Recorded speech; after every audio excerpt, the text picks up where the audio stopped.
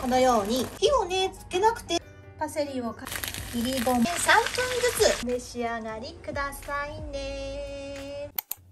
胸肉で絶品鶏チリ1人分101円。材料です。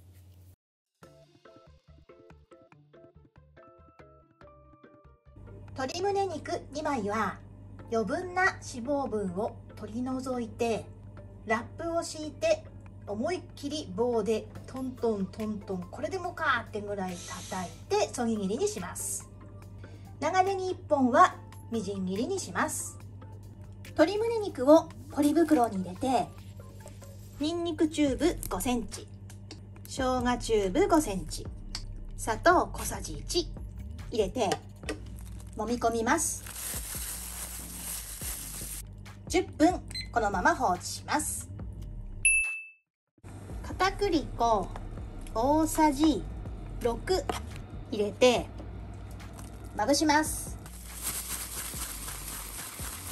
サラダ油大さじ2を中火でフライパンで熱し長ネギを入れて炒めます。うんいい香り。もうねもうすぐにもうしなーってなるんでそしたら端に寄せて大体でいいよ。まぶした鶏胸肉を入れます。広げてね。両面火が通るまで焼きます。焼いてる途中でねちょっと油がね足りないなと思ったら端から補充していきましょう。でまあ4分ほどね焼いてると胸肉にニンニクチューブと生姜チューブつけたのとあとはあのネギがねついてたりするとこう焦げやす焦げやすかったりするのでまあこれ真ん中にあった胸肉なんだけどこれを真ん中にあった胸肉を外側にで外側にあった胸肉を真ん中にしながらこうローテーションさせながら裏返して全部。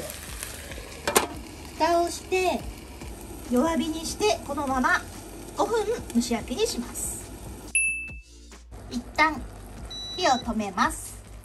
胸肉を寄せて調味料スペースを作って鶏ガラスープの素大さじ1砂糖大さじ1お酢大さじ1ケチャップ大さじ4豆板醤小さじ1水 70ml 入れてここで一旦混ぜ混ぜして全体を調味料とご対面させます。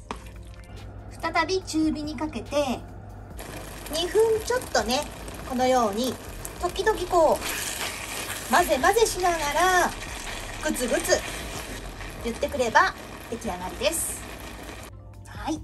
で我が家ではね今夜いただくのでこのままお皿に盛り付けちゃってレンチンして出すことといたします。でまあポイントはねまあポイントというかもういっぱいあるんだけれどもとにかくこう胸肉を柔らかくいただきたいという場合にはですね棒でめっちゃ叩くことをおすすめいたします。もうぐにゅべちゃってなっちゃってるっていうぐらいまで叩いちゃって大丈夫です。で日持ちうーん保存。保存をしても冷たく1回冷蔵庫で冷やしても柔らかいままになるのでぜひぜひおすすめです。面倒なんだけどね。でもそのちょっとひと手間がやっぱり美味しさを演出するので。鶏胸肉を焼く時に最初に長ネギから炒めるので長ネギがついちゃってる胸肉なんかは焦げやすくなっちゃうんでそこは様子を見ながら注意ですね。味付けする時に一旦火を止めましょう。調味料がやや多いので慌てるよりは火を一回火を止めて落ち着いて調味料を入れて混ぜ混ぜしてで胸肉と合わせてから火をつけると。まあ落ち着いて慌てずに美味しく調理することができます。いやほんと胸肉はねもういろいろ柔らかくするためにたくさん方法やってきたけど一番やっぱり棒で叩くのがおすすめです。ストレス発散にもなるしね、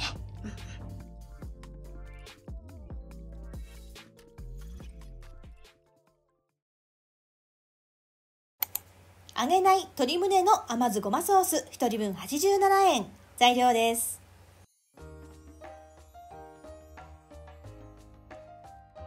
鶏胸肉2枚は1枚を2枚におろしてラップをかけて棒で叩いてストレス発散してあー気持ちよかった。そぎ切りにしてポリ袋に入れ塩小さじ1分の1砂糖小さじ1入れて揉み込み10分放置します。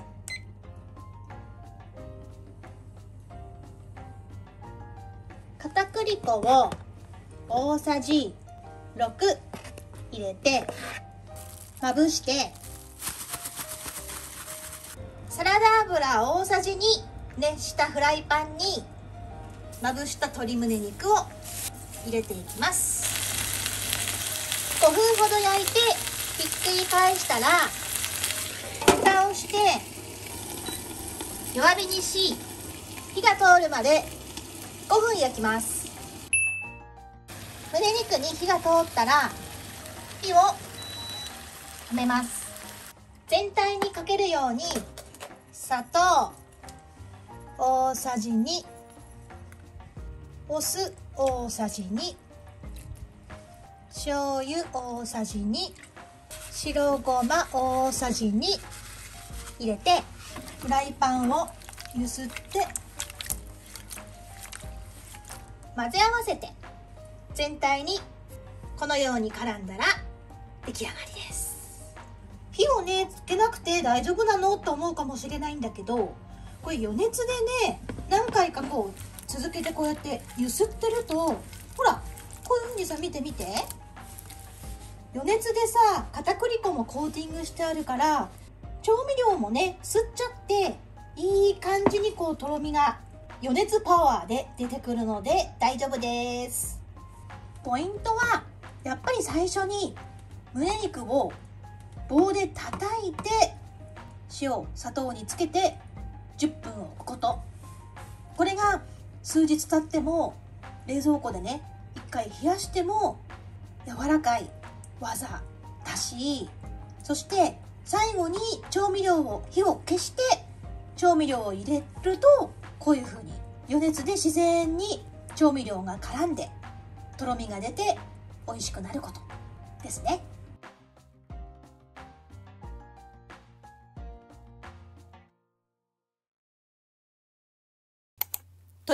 肉の赤ピカタ1人分87円。材料です。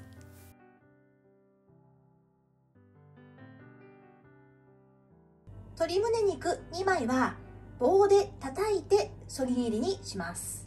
鶏胸肉をポリ袋に入れて塩コショウ。12345678910振り。砂糖小さじ1入れて揉み込みます。揉み込んだら縛って20分放置します。ここに卵。2個。パルメザンチーズ大さじ3粗挽き胡椒小さじ1ケチャップ大さじ3入れて揉み込みます。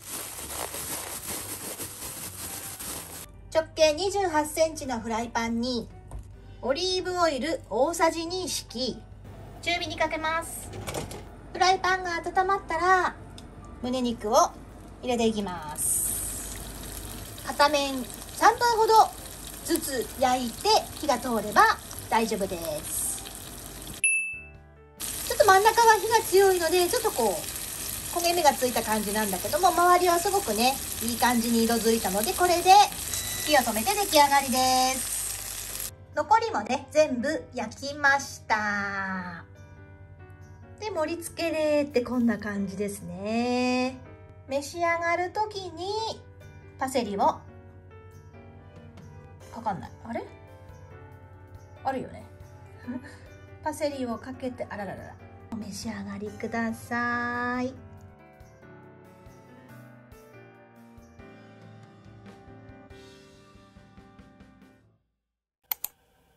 胸肉でヤンニョムチキン1人分87円。材料です。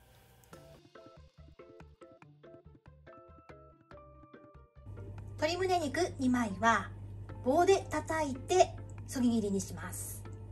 鶏胸肉をポリ袋に入れて塩小さじ1分の1砂糖小さじ1入れて揉み込み10分放置しますさらに片栗粉大さじ6入れてまぶします。サラダ油。大さじ2を。中火で熱して。胸肉を入れて。火が通るまで。両面焼いていきます。最初にね。4分。焼いて。焼き色ついたら。ひっくり返して。蓋をして。弱火にして。3分。蒸し焼きにでこれで火が通ったので一旦火を止めて調味料スペースを作ってここに調味料入れていきます。コチュジャン小さじ1でねあのーうちの娘ちゃんがちょっと辛いの苦手なんで小さじ1にしましたが平気な場合は大さじ1入れましょう。ケチャップ大さじ3醤油大さじ1みりん大さじ1砂糖大さじ1にんにくチューブ7センチ入れてここで最初混ぜ混ぜします。だいたい混ざったら鶏胸肉にも行き渡るように合わせていきます。再び中火にかけて2分ほどこういう風にフライパンを揺すったりしてね炒め合わせて最後にいりごまを大さじ2振りかけてフライパンを揺すってねいりごまを行き渡らせてこのようになじめば出来上がりです。でポイントは2つあります。最初にね鶏胸肉を棒で叩いて塩と砂糖で10分でその後片栗粉でコーティングして焼きます。でもう一つは調味料スペースを作って火を止めて調味料を合わせてであとはもうね絡めれば出来上がり。このように。なので2つポイントがあります。でこれ作ってみたのはいいもののこの料理名がヤンヤンニョムチキンっていうんだけど言えるかどうかがすごい不安なところであります。ヤンニョムチキン。あ言えたわ。ヤンニョムチキン。あ言えた。大丈夫そうだね。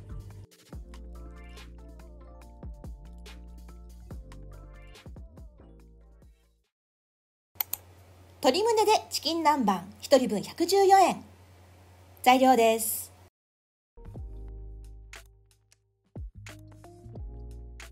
鶏胸肉。2枚は棒で叩いて大きめのそぎ切りにします卵4個は片茹でのゆで卵にします。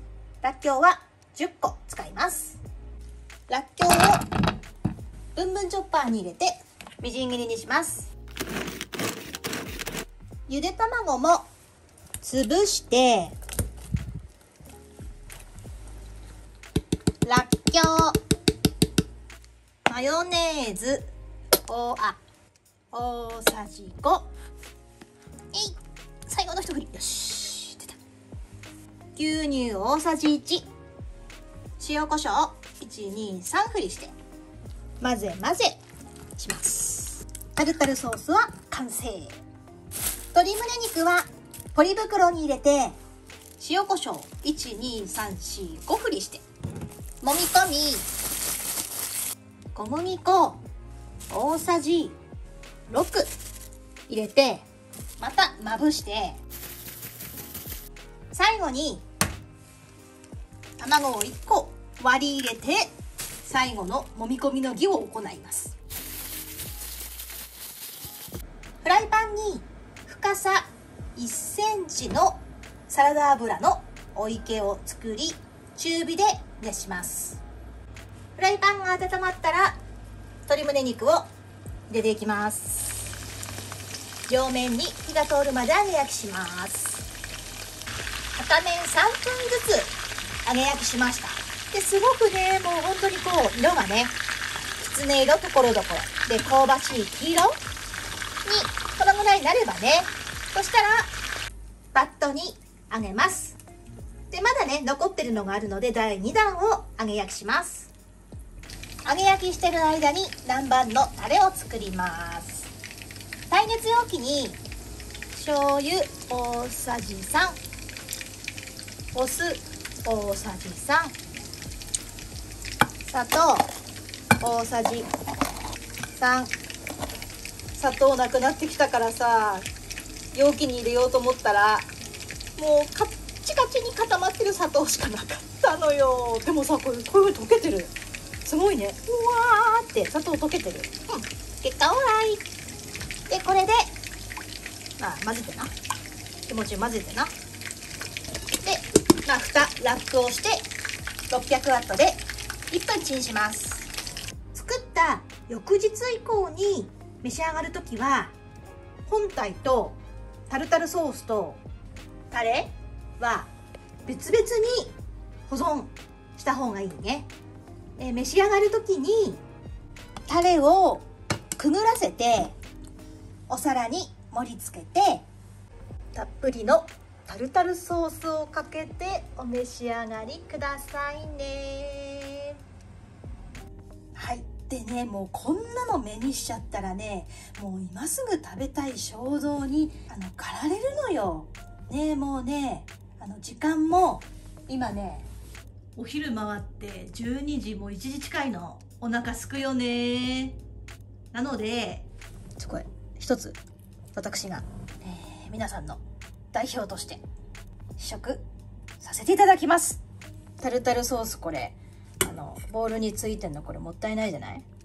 だからちょっとこれこうつけながらさ食べてみるね。いただきます。あうん。まず最初に胸肉を棒で叩いたから胸肉とは思えないような柔らかさ？うん。んでタルタルソースに使ったらっきょがすんごくいいお仕事してる。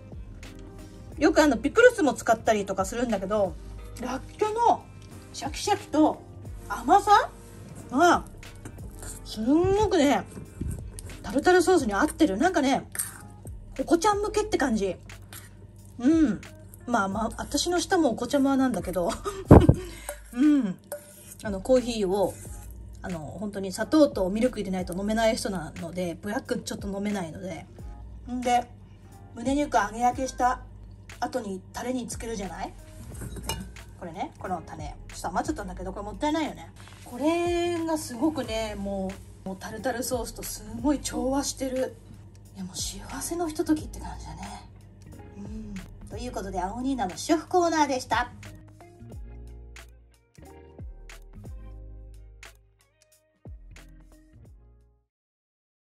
最後までご視聴いただきありがとうございました。次回のテーマは1週間作り置きパパッと作り置きを予定しています。インスタグラムリニューアルしましたのでぜひフォローお待ちしています。他にナディアサイト LINE 公式アカウントもやってますのでぜひお願いいたします。